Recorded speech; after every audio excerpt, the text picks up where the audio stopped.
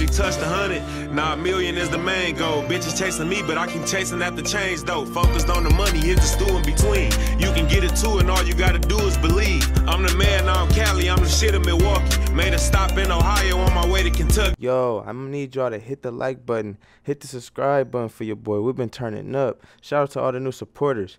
Ice Max is doing a giveaway at 45k. He at 41k right now. All you have to do is go to his channel, subscribe to everybody on that list, and you can win a free PC. That's simple, y'all. Let's get it. Yo, what's good? Another video, man. Keep going crazy. Um, shout out to the vault for this. Another one. Um, you be dropping bangers, bro. I salute you. Um, yeah, man. Y'all know it was gonna come to this one day at least. Um, we got Tekashi Six Nine here, man. We're gonna see what Vault talking about. Vault description gonna be in this video, you know. Um, come on, let's react to it. Let's go. Let's let's let's see. Let's see what Vault got to say, man. 6 9 was one of the most talked about rappers in the past year or so. True. The Brooklyn rapper came into the scene loud and proud with his song Gummo, reaching mainstream success and obtained millions of streams across the internet. Following that success, 6 9 continued to build a massive following for himself and proceeded to sell out shows across the world, all while releasing consecutive chart topping hits. 6 9 even managed to ink a multi million dollar publishing deal with Create Music Group. But despite becoming one of the most exciting artists in hip hop, What that was about? I don't know. 6 9 just couldn't stay out of legal trouble and eventually found himself facing a possible mandatory sentence of 47 years. Want to hear more? Well, we have you covered. Here is an exclusive inside look at the criminal history of 6 9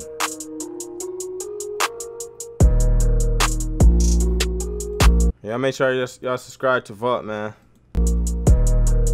6 9's first arrest allegedly took place years before his fame, according to Genius and No Jumper.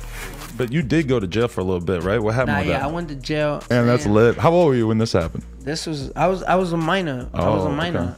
Or While the exact date is unknown, 6 9 claimed to have worked at a store around his area, but he was doing a little more than just running the register.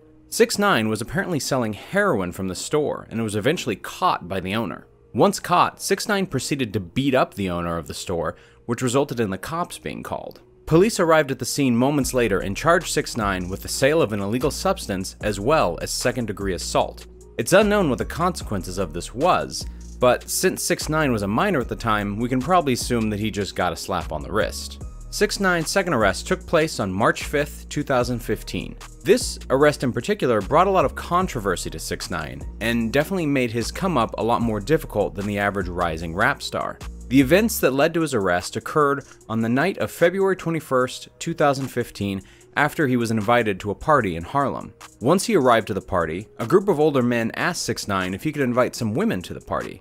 6 9 said he couldn't invite anyone over at the time, so the men just said that they would invite the girl from last night over. When the girl from last night arrived, 6 9 claimed to have asked the girl her age, to which she responded with 19. The group then proceeded to party all night long. Throughout the night, 6 9 and friends recorded videos of them doing explicit things with the girl, which later were posted to 6 9's Instagram. A few days later, the girl's mother saw the video 6 9 posted on his Instagram and filed a criminal complaint against him. In the complaint, the mother revealed that the girl was only 13 years old at the time those events took place.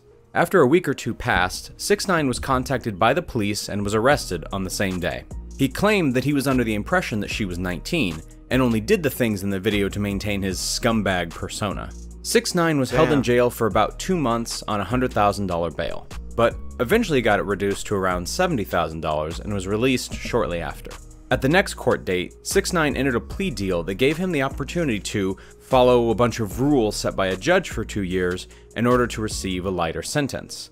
The rules given to him by the judge were that 6 9 must complete one year of interim probation, two years of mental health treatment, 300 hours of community service through the New York City Parks Department, get his GED, write a letter to the victim and her guardian explaining why the participation he had in the videos was harmful to her and her family, and why publishing the videos made it even worse, and to not commit another crime for two years. Damn. The judge also gave certain restrictions on what 6 9 could post on social media. If 6 9 followed all these instructions by the time of sentencing, he would only receive three years of probation instead of three years in prison. Fast forward over three years later, 6 9 was sentenced to four years probation in October of 2018, under the conditions of not saying the term treyway in public and a thousand hours of community service. 6 9 didn't even get his GED and was arrested. What the fuck? Y'all hear that? How the fuck you can't? How the fuck you don't tell this man what he can say? arrested several times as well, but I guess he just Excuse got himself a good lawyer after he watching, too. received some of that gummo money. 6 9's third arrest happened in May of 2018 in Brooklyn, New York. Details on this arrest are scarce, but it was reported that 6 9 was initially charged for driving with a suspended license. Police also stated that 6 9 injured a police officer's hand while in custody, which led to additional charges being pressed against the rapper. Those charges were obstructing governmental administration and assault. I couldn't find any confirmed information about the outcome of this arrest, but I'm assuming it was dropped, or maybe just led to a fine. 6 9's fourth arrest happened on July 11, 2018, for an incident that happened back in January. According to multiple reports, on January 6, 2018, 6 9 was shopping at the Galleria Mall in Houston, Texas, when he was approached by a 16 year old fan named Santiago Alberan. Santiago began recording 6 9 in the mall, which the rapper didn't appreciate. 6 9 soon turned around and started to yell at Santiago, ordering him to delete the video, and eventually grabbed Santiago by the neck while his bodyguards surrounded him. Santiago quickly deleted the video and apologized, but Santiago's family proceeded to report 6 9 to the cops. A few months later, a warrant was issued for 6 9 and he was eventually arrested at JFK Airport in New York City. That's the one charge filed against 6 9 was misdemeanor assault causing bodily injury. The charge against 6 9 was later dropped because Santiago didn't want to take legal action. Hmm. 6 9's latest and most notorious arrest happened on November 18th, 2018, in New York City. Check it out, check it out now. Uh, I wish I didn't have to do this video. That I have to report that 6 9 and a couple affiliates at least have been taken into federal custody. After recently firing his whole team and canceling his tour unexpectedly, 6 9 was picked up by the FBI and was indicted on multiple federal charges. A few of those charges were conspiracy with others to commit racketeering, discharging a firearm while committing a crime, committing a crime of violence in aid of racketeering, assault with a dangerous weapon, carrying a firearm, and committing a crime in aid of racketeering. Five associates of 6 9 were picked up by the FBI on similar charges as well, with one of them being his former manager, Shotti. Y'all think that was a dirty situation, or you feel like y'all feel like six nine already had that coming to him? Hmm.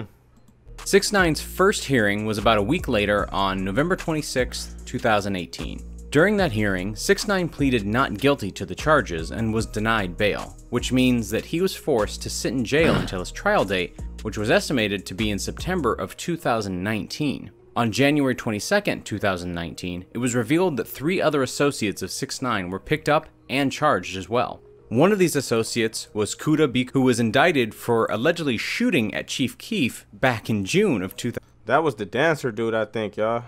2018 and was eventually caught after 6 9 told authorities that after getting in a beef with Chief Keef online, he offered $20,000 to Kooda B to shoot at Chief Keef outside of the W Hotel in Manhattan.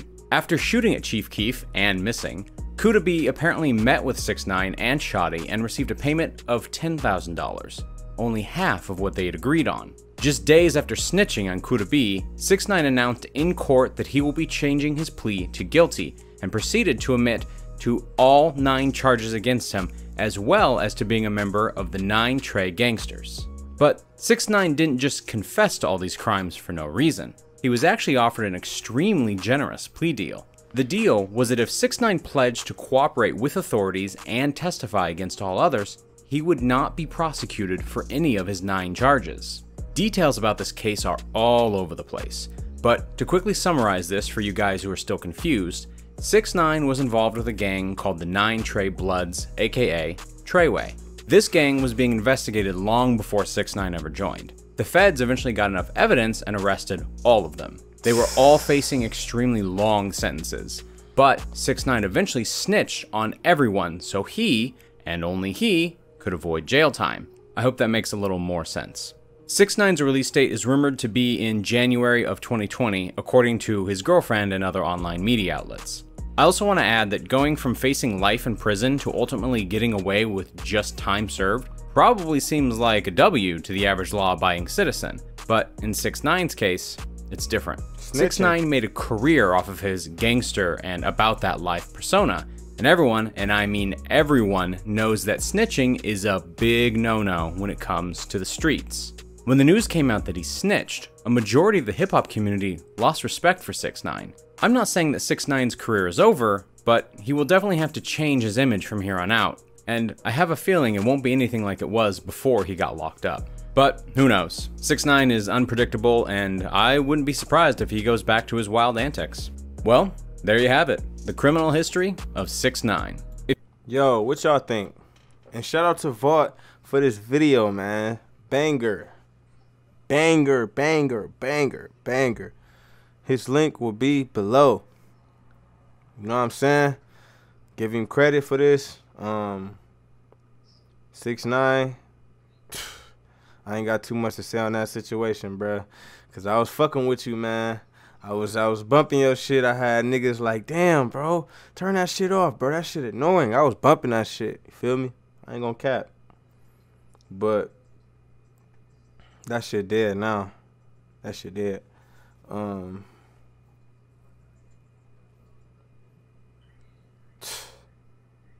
I don't even know what to say, y'all. um, make sure y'all get to to Smack's channel to get them free PCs, man. Get to the channel to get them free PCs, man. All you have to do is subscribe to everybody on his list, bro, and you get a free PC, bro, fully built. Talking about real, real shit, bro.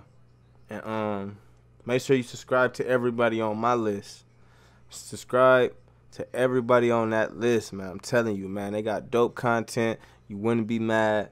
You're to be satisfied. When I'm not uploading, I want y'all to be looking at their videos too, bro. I want y'all to be coming to click on their shit too, bro. Real shit. And my birthday coming up 213. I'm to drop a video on my birthday, February 13th. I want everybody to comment and show love if you really support me and, and fuck with me. Comment, show love subscribe. I'm out, man. Um, and shout out to everybody that been messing with me, that been getting me up there, that been watching my videos. I appreciate it. Everybody that sub, all the new subscribers in January. It's like almost 400 of y'all. Shout out to all y'all, man. Real shit. I'm out. Come to the next video. Show love. Hit the like button. I'm out.